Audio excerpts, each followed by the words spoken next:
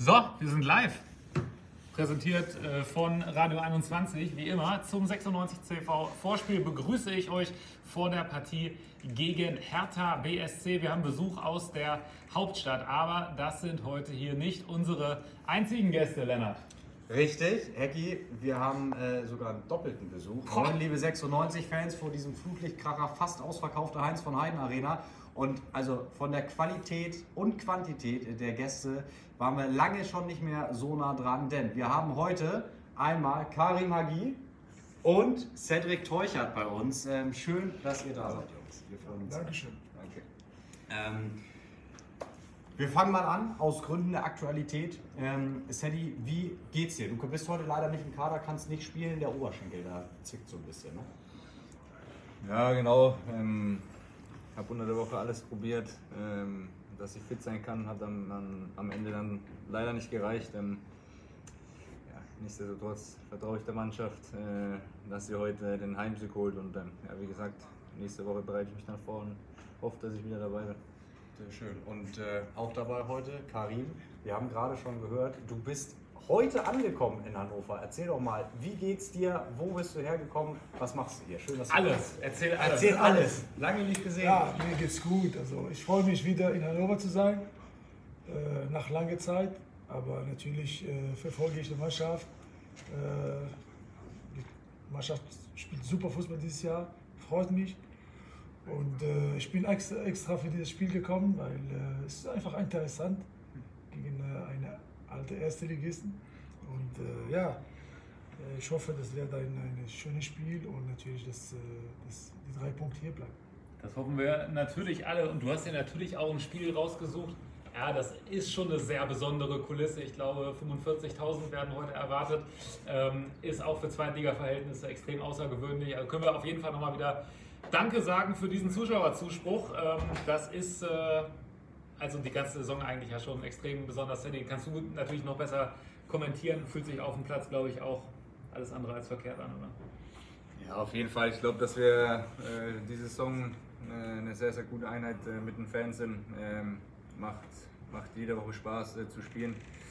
Äh, die Fans peitschen uns äh, jede Woche nach vorne und ähm, ja, ich glaube auch an unseren Leistungen sieht man, ähm, ja, dass wir zusammengewachsen sind und ähm, ja, ich denke, dass wir dafür verdient da, oben stehen. So, ich habe hier ein paar Fragen ähm, schon mal mitbekommen. Und zwar fragt bei Instagram ähm, Baron Zelle. Karim, deine Einschätzung zu Marcel Halstenberg ist ja schon auch ein Positionsgenosse von dir. Ja, natürlich ist ein erfahrener Spieler, ein sehr erfahrener Spieler, hat eine Top-Leistung in äh, Leipzig immer äh, gezeigt. Und ich glaube, das ist eine äh, wertvoll für Hannover. Ja.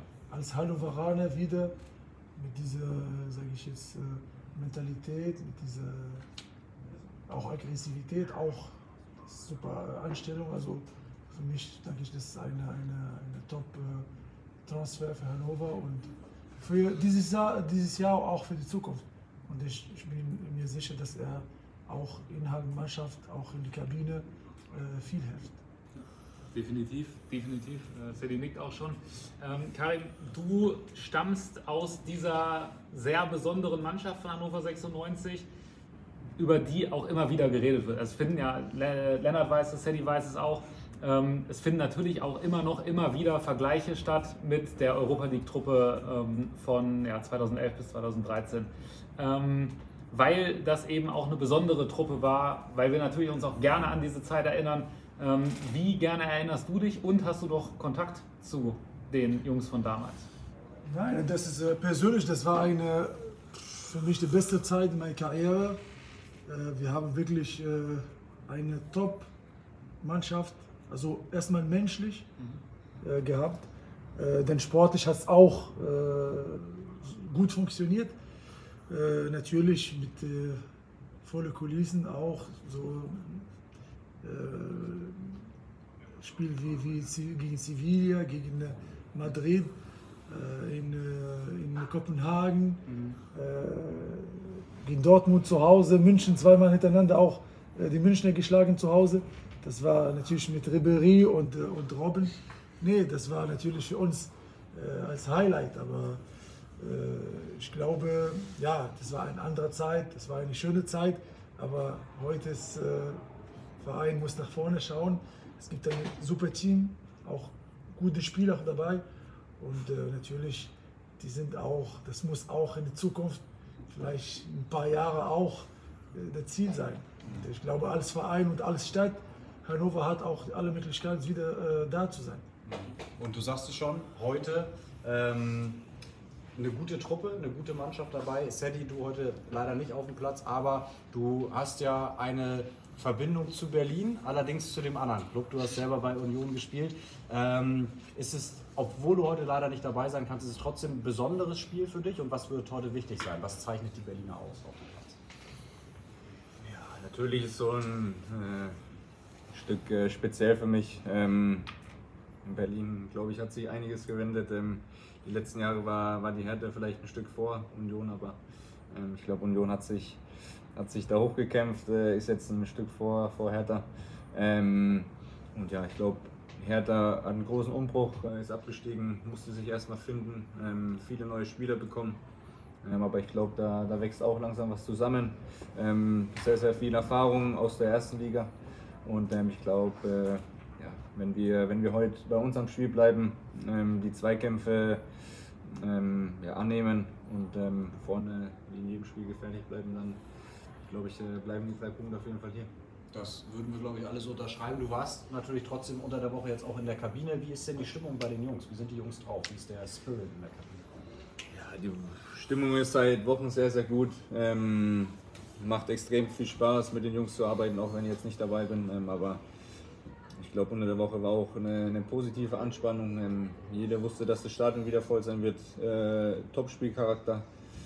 Und ähm, ich glaube, mit den Fans im Rücken, wie ich vorhin schon gesagt habe, ähm, sind wir eine Einheit und ähm, sind mindestens ein, ein Mann mehr auf dem Platz. Apropos Mann mehr auf dem Platz, wir gucken mal, wer ist denn überhaupt auf dem Platz? Ja. Ist die Aufstellung ist da? Ich habe zufällig habe ich die Aufstellung schon da. Dann Äh, dann Schauen wir doch mal, wer heute spielt. Schreite zur Tat und ich schalte raus an unseren Außenreporter. Die Außenwette heute mit Lennart Westphal. Ja, ich würde mich mal weit aus dem Fenster hängen und wetten, dass im Tor unsere Nummer 1 steht, Ron Robert Zieler. Genau. Damals Nummer 1, übrigens auch als Karim noch auf dem Platz stand. Ja. Damals auch schon ein besonderer Torhüter, aber noch, noch, noch, noch wesentlich äh, Ich erinnere jünger. mich, ich erinnere mich an als er sein erstes Spiel in Frankfurt. Ja. War überraschend für alle Mannschaften, weil wir haben es erfahren äh, ja, in der Nacht vor dem Spiel. Aber natürlich danach hat er eine super Leistung. Für mich der Top-Charakter, auch so eine äh, erfahrene, es ist ein Weltmeister. So, Es ist, es ist einfach so. Sind wir alle nicht.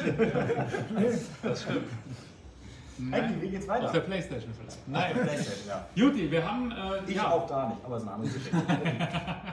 Kannst du das lernen heute im Stadionprogramm eFootball? Okay. Also vielleicht mal genauer hingucken, Gucken hältst du die Controller wenigstens richtig. So, ähm, wir haben eine Dreierkette. Ja. Also nicht wie immer. Schieß los. Und Rechte zwar Seite. Phil,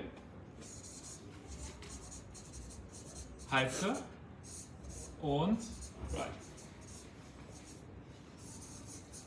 Oder anders formuliert, keine Überraschung. Keine Überraschung, alles gut. Keine Überraschung auch auf den äh, Flügeln. Das mit Yannick Dehm und Derek König. Keine Überraschung auf der Doppel-6. Sehr, sehr, sehr unspektakulär, wie wir es moderieren, aber kein Ja. Problem. Hecky, da musst du jetzt ein bisschen Feuer reinbringen. Ich bin hier dafür zuständig, dass es an der Wand steht. Die beiden auf der Doppel Doppel-6 sind dafür da, Feuer reinzubringen. Und, Und das sind diesmal Enzo Leopold und Fabian Kunze.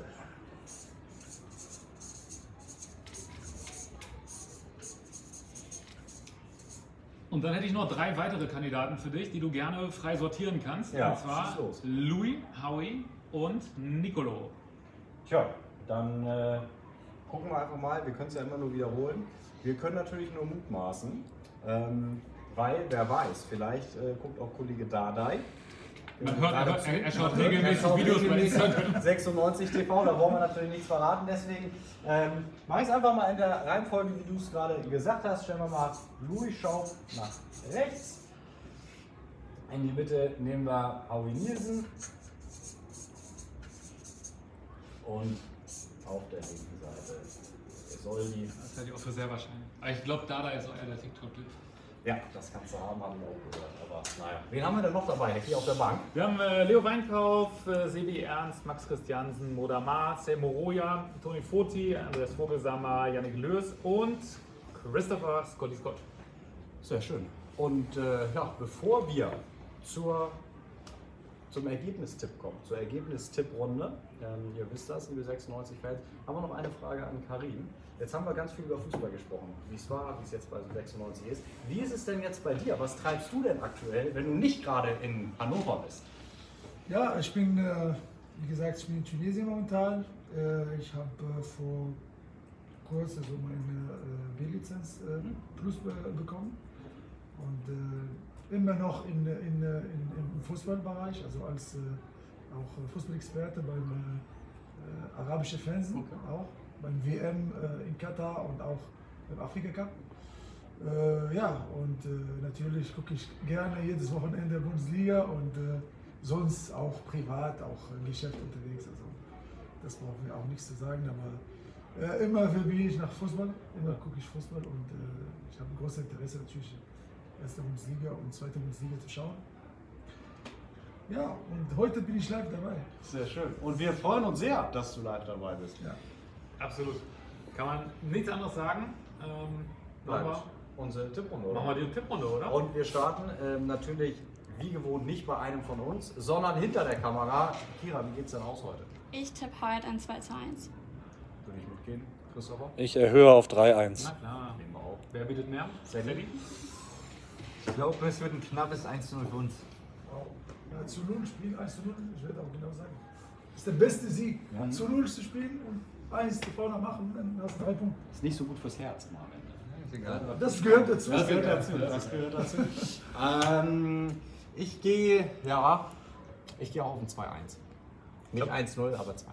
Also ich würde mir, ich würd mir die Null auch wünschen, auch für hier unsere Protagonisten da, aber ich glaube, es wird auch nicht gut fürs Herz, aber trotzdem erfolgreich für Hannover 96. 3 zu 2 wäre mein Tipp an diesem heutigen Das ist auch nicht Spieltag. Das ist auch nicht schlecht, so kann man ab und zu mal die Tormusik anschmeißen, ähm, bisschen Gefühlsachterbahn. Schadet nicht, wenn es am Schluss gut ausgeht. Machen wir es zu, oder? Machen wir es so. Liebe 96-Fans, auf den Heimsieg. So sieht es nämlich aus. Vielen Dank an euch, vielen Dank an dich, vielen Dank an euch fürs Zusehen. Für Karin übrigens nächstes Mal, einmal sind wir noch äh, live mit dem Vorspiel, nächstes Mal auch spannend. Dann kommt äh, Lars Stindl hier zu uns ins äh, Stadion. Dann ist der KSC zu Gast in zwei Wochen. Jetzt aber erstmal Hertha BSC äh, auf einen schönen Fußballabend für uns alle. Ciao, ciao, macht's gut.